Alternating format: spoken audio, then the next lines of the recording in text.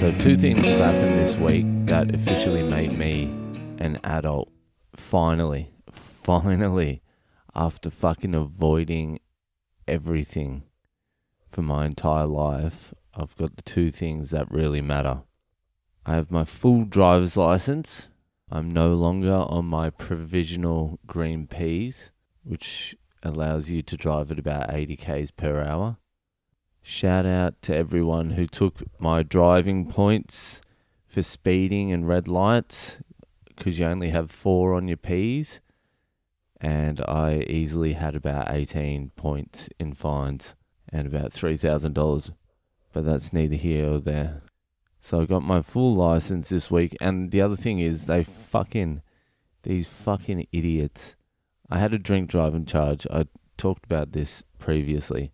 I had a drink driving charge from years back. They gave me my license. Then some dyke at Vic Road started digging into my file. I wasn't meant to get the license back until I went to court. Blah, blah, blah. Listen to the episode of Drink Driving. I'm pretty sure I said it on that. But now they gave me my full license. But on it, I have a condition that says I have a Z condition on it. And I was like, what the fuck is a Z condition?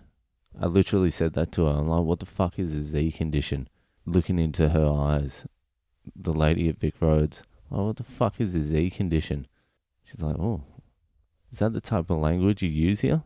I don't give a fuck. She's like, oh, you've got to be zero alcohol level.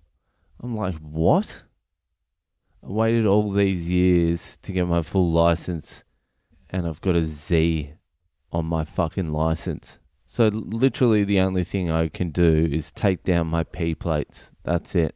I'm like, I don't even fucking drink, but I don't want that Z on my fucking license. Get it off. And then we had a big fucking thing. Then I had to spend like 10 hours on the phone to some cunt to take it off. And the second thing, and the second thing that has made me a fully fledged adult today is I finally I've been summoned to jury duty. Can you believe that?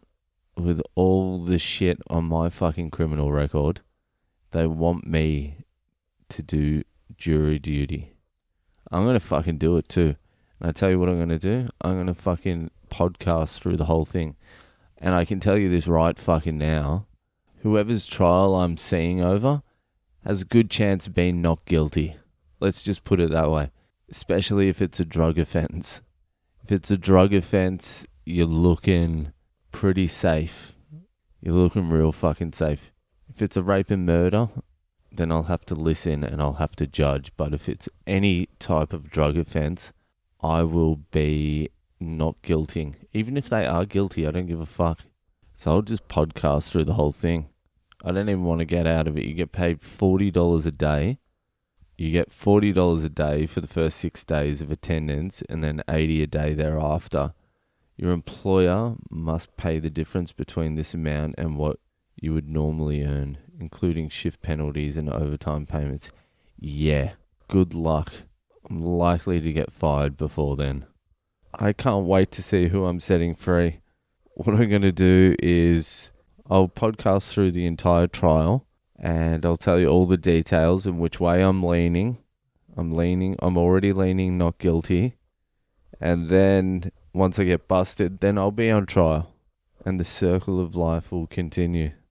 But I think it's all connected. I think I got my full license a few days ago and now fucking jury duties come up. I haven't even voted. Plus, which I'll reveal in later episodes, of this crazy, crazy podcast. I do have quite a substantial history with the police. So, so you know, I don't know how far I'm going to get through this.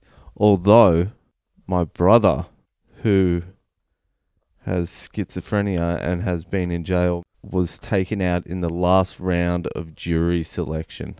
Can you imagine that? A schizophrenic criminal made it to the last round he was about to sit trial. He was about to be a juror on a murder case. My schizophrenic, criminal, ex criminal brother. Just let that soak in. if he can make it through those hoops, what other fuckers are there? He wanted it bad. He really wanted it. He's like, it's 40 bucks a day, man. It's 40 fucking bucks a day. Like, he thought it was big cash. I'm going to really try. I'll be like a chameleon. Whatever I think the jur- whatever I think the lawyers want, I'll pretend I'm that and get on the jury. It'll be like juror six three five nine four two. What's your occupation? I'm like, I'm a stand-up comedian. What are you? What are you up to? You should actually follow me on the podcast. It's called I'm Quitting Alcohol with David Boyle, comedian David Boyle. So that's something to look forward to. I'm gonna I'm gonna try and get on the jury. I actually have a juror number already. All right, that's enough for tonight. See ya.